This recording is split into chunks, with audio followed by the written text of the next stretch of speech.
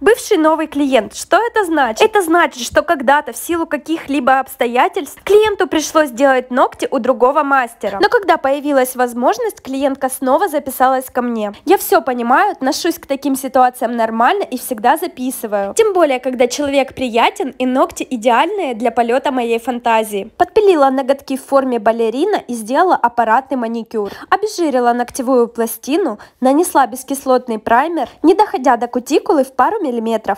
Далее нанесла подложку втирающими движениями из пластичной базы. На такую длину сделала выравнивание молочным гелем, который, кстати, замешала сама. Его консистенция средне-густая, что позволяет на эту длину сделать выравнивание без затеков. Дизайн буду делать в виде абстракции, для этого мне понадобился черный гель-лак. Делаю небольшие мазочки хаотичной формы прям кистью из флакона. На липкий слой геля добавляю золотую поталь. Хорошо ее разровняла и добавила при помощи дотса черные точки. Маникюр полностью перекрыли матовым топом. Чтобы матовый топ хорошо лег без проплешин, его для начала нужно нанести тонким слоем втирающими движениями, а затем резкими сводящими на нет к торцу. Ставьте лайк, если понравились и не забудьте сохранить идею этого дизайна.